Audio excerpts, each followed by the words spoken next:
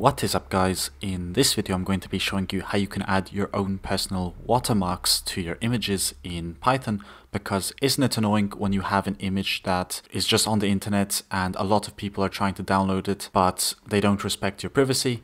So this program will help you with being able to select an image and then it's going to put this overlay on your image with your own website name or whatever text you prefer to add to the image. And it really works on any image. I even created this dialog box that allows you to pick an image so that if you have an image, it's going to look at it and it's going to place your watermark right above that. So that's what we will be making in Python and the first thing you want to do as always is start a new project. And once you have a new project, you want to right click on your folder and create a new Python file and just call it main or whatever you want to call it then we have to go to the terminal and as soon as it loads we will type pip install pillow and that's the package we'll be using for this tutorial. I'm using Python 3.8 for this so for the best results use the same version. So the first thing we should do is import from pil image, image draw and image font. Then we have to import from tkinter the file dialog to open the files and from tkinter we need to import tk for the whole program to function. So the first thing we should create is the tk interface. So this will initialize it and we immediately want to close the window that it creates. So we'll just call withdraw as soon as we start the program. Next we want to retrieve the file name from the user. So we'll type in file name and that's going to equal file dialog dot ask open file name and inside here, we're going to add a few parameters, such as the initial directory. And here you can pick whatever kind of starting destination you want. You just need to search on your computer. For me, I have this one over here that takes me directly to my downloads where I have most of my images and I'll be using that. Then also we can provide a title because that's always nice. Select an image and that's all we need to do there. Just to make sure this works, of course, we'll go ahead and print the file name and run this program immediately. Then, as you can see, it's going to open this dialog. It has select an image at the top.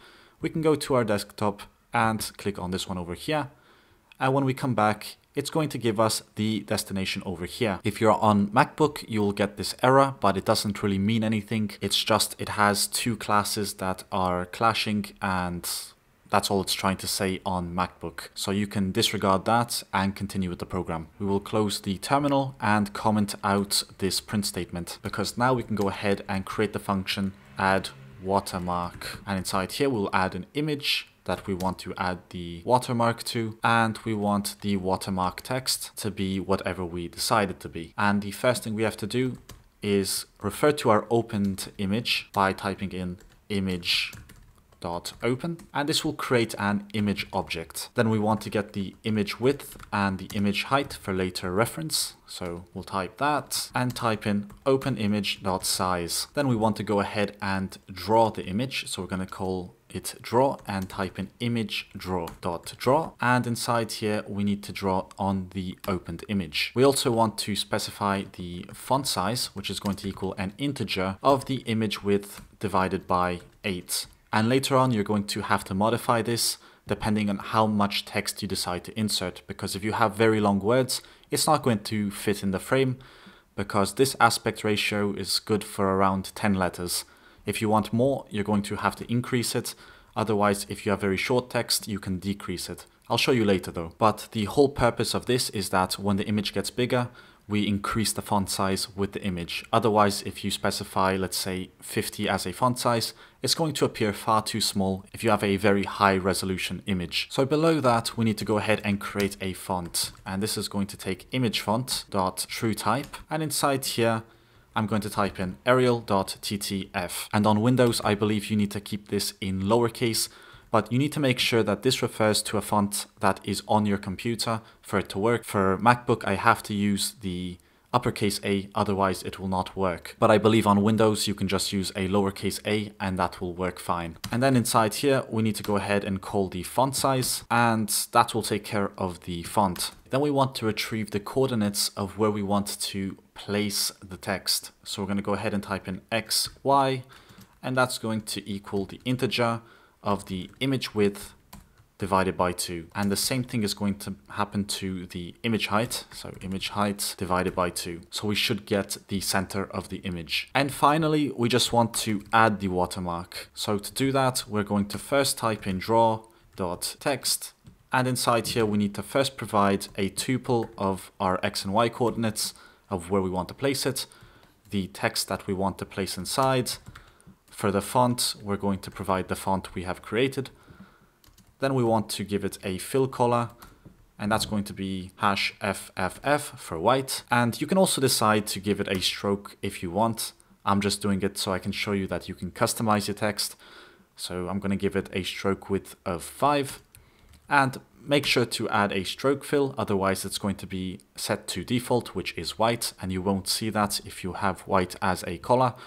So here we're going to go ahead and type in hash 222. And finally, we want to make sure that the text is placed in the center, so we need to specify middle and S. We also need to show the new image, otherwise nothing is going to happen. So we're going to type in Im opened image dot show. And finally, at the bottom, we can call this function, add the file name of the image we want to edit, and the text that we want to edit. So this time we can just type in code palace and we will run this program by right clicking on main and clicking on run.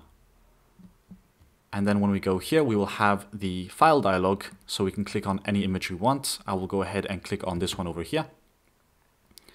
And you'll notice I'll have Code Palace right there. And as you can see, there's a lot of empty space around.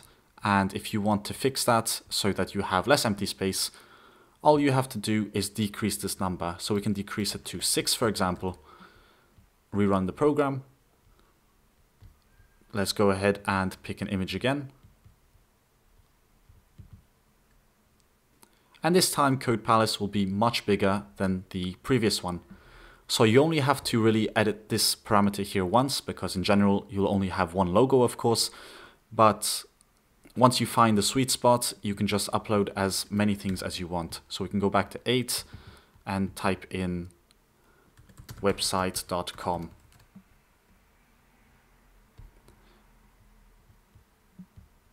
Pick on a different image, one like this one. And now we have website.com over the other watermark. So as you can see, it's a very simple way to add watermarks to images, and you can even do this in bulk if you add a for loop through a folder. So it can save you a lot of time in the long run, and as a homework project, I just recommend you try to find a way to loop through a folder and add a watermark to each one of the images. But with that being said, I hope this tutorial helped. And as always guys, thanks for watching and I'll see you in the next tutorial.